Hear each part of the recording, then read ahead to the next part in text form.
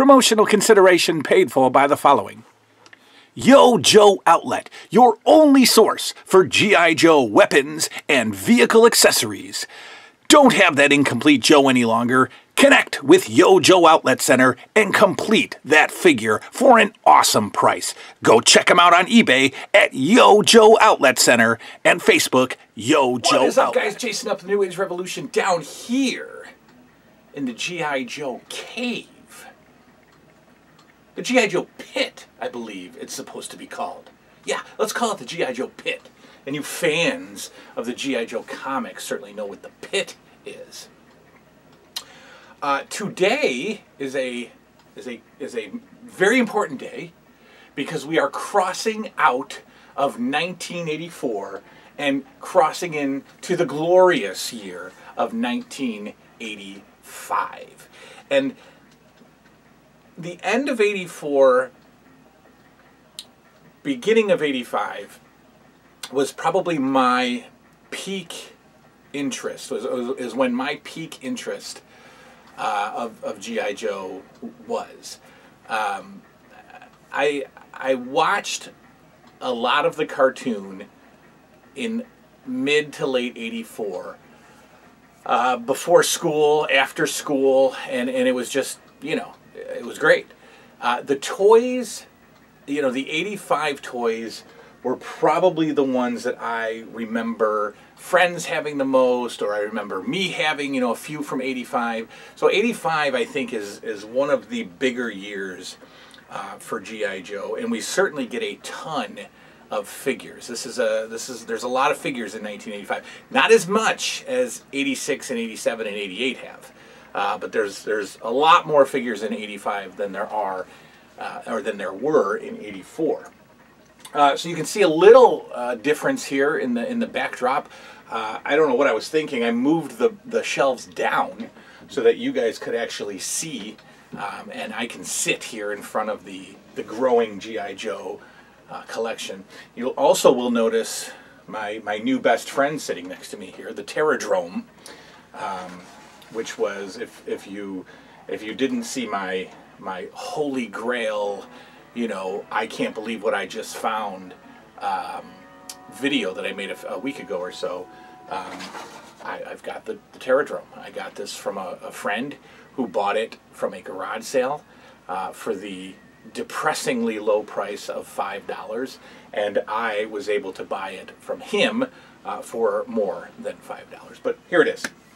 Um, we've also added a new shelf. We've got a we've got a third shelf now, and um, it's a little different. I couldn't find this cut of wood anymore.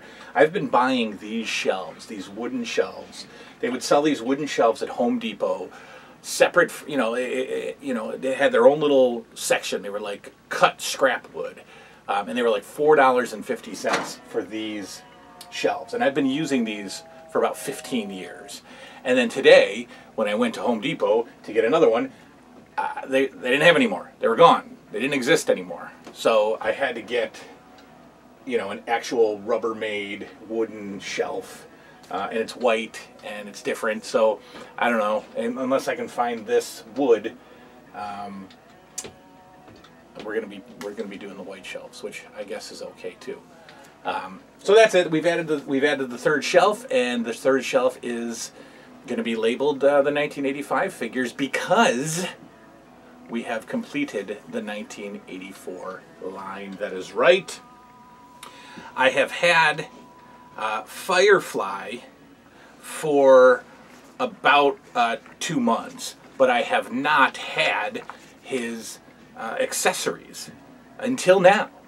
And here's a you, you can we'll, we'll, take a closer look at all these figures uh, as I'm talking. Uh, but this this phone accessory um, sells for stupid prices on eBay, and I settled for a a um, a custom job, a uh, you know like a like a replica. I don't know I don't know what he does if he if he you know he does a uh, like a 3D printer or something. I don't know, but I, I settled for that because it was uh, four dollars and ninety nine cents, as opposed to the exact same size, the exact same design for $24.99. I just couldn't do it. And and as you take, you know, a look at these figures, you'll see how small and how insignificant this little accessory is and how I could not justify paying for an actual phone. So we've got Firefly. He rounds out the 1984 figures. And so as we do here on the channel, we will slap him in his or on his stand and we will add him to his forever home right next to Spirit joining the family. Firefly has has come home. So that allows us to jump into 1985. I am so pumped to be starting this year. I love it. And we have five complete figures to add to the 1985 shelf. I have one, two, three, four more that need accessories. Not all the accessories, some of the accessories. I have some, I need some. We've got five complete to add. We've got four sitting over there that need weapons. And then we got a bunch more that we just gotta just gotta collect from scratch. Um, I didn't get a chance to thank, uh, to publicly thank Yojo Outlet. Uh, they, of course, are. Um, you see their ad at the beginning of the of the show, and they have been uh, very generous uh, with their, you know, uh, me picking up accessories from them. And I bought I bought an accessory from them uh, about a month ago, and they sent five figures. and I, and they were 85 figures, so I didn't get a chance to, to, to show you and to thank them publicly. But you know, uh, Yojo Outlet is an is, a, is an incredible organization. Um, reach out to them. That you can find them on Facebook and you can find them on eBay. Um, and they're not just GI Joe accessories. I mean, they are action figure accessories of all kinds, uh, vehicle accessories of all kinds. Uh, wonderfully priced, uh, fast, fast shipping and obviously a very generous group of folks over there at Yojo Outlet. So I, I want to publicly thank them for sending me some fun figures to add to the collection. Uh, so the first complete figure of 1985 is one of my favorites from this year and one of my favorite characters from the cartoon.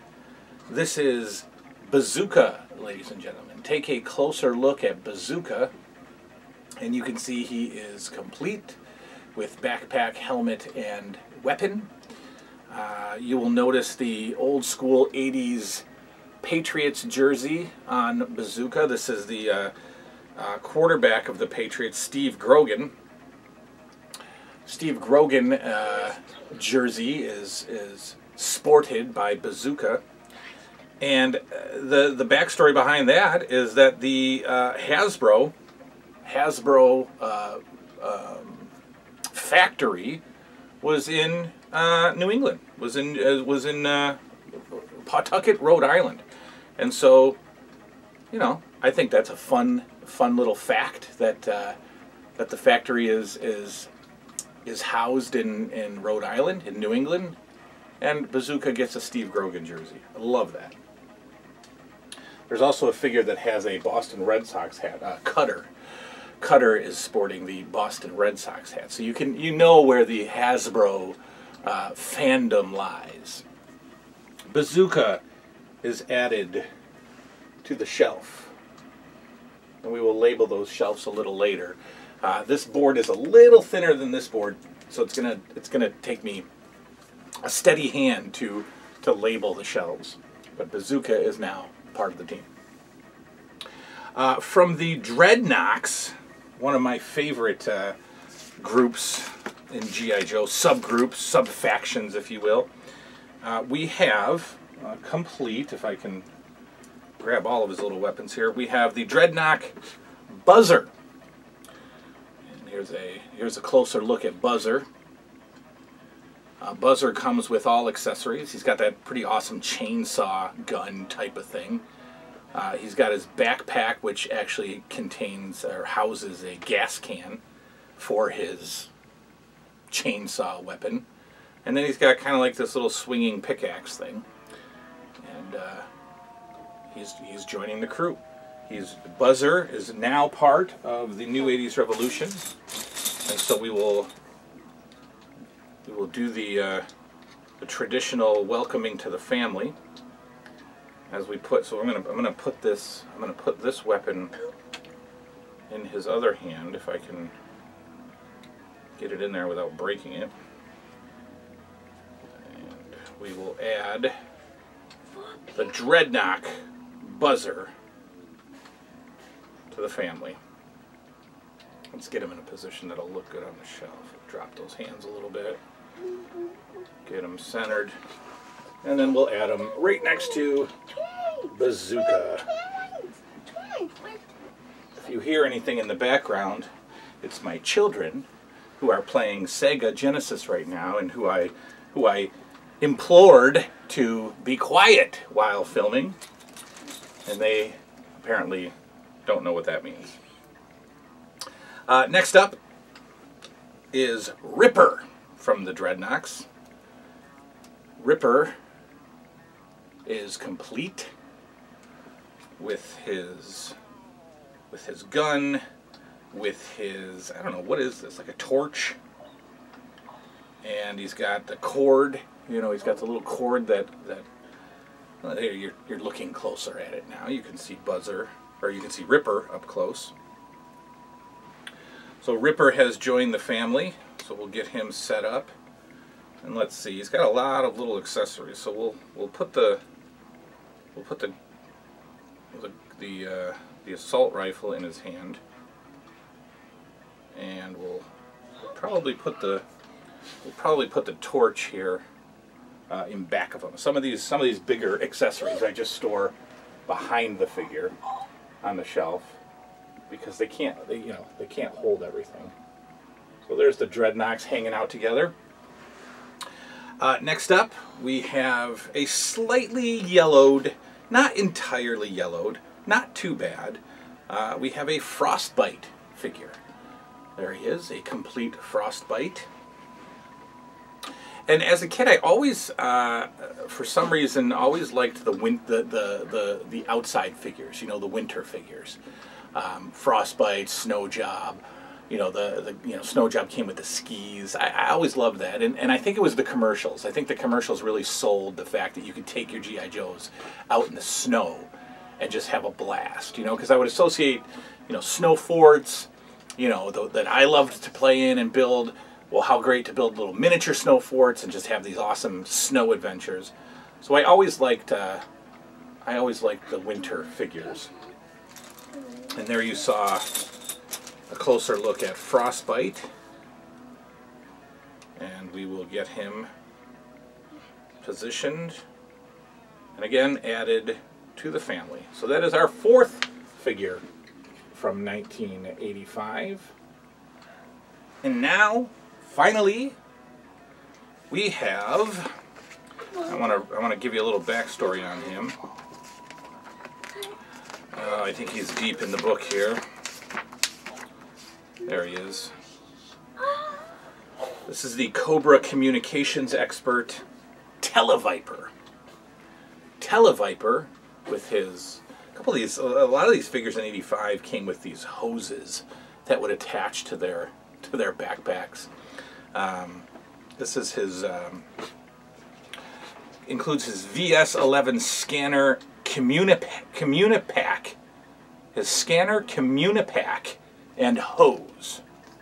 All right, so there we go. We've got a complete Televiper for you to enjoy.